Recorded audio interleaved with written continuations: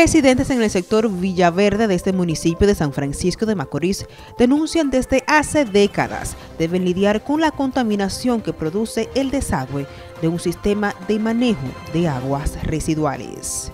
Tengo como 27 años aquí y, mi, y estoy viendo lo mismo, ese bajo que no lo aguantamos. Oigan, como 100 gente han venido ahí tirando fotos y de todo y no hacen nada. Afirman que la problemática no es nueva y que las autoridades están al tanto de la misma, pero que no han hecho nada para remediarla.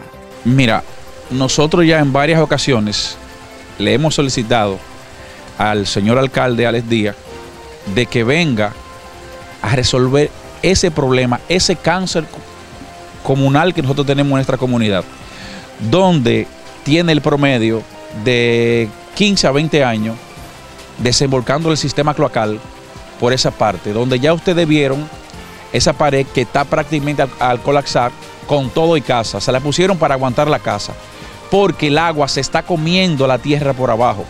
Para NTN, Joanny Cordero.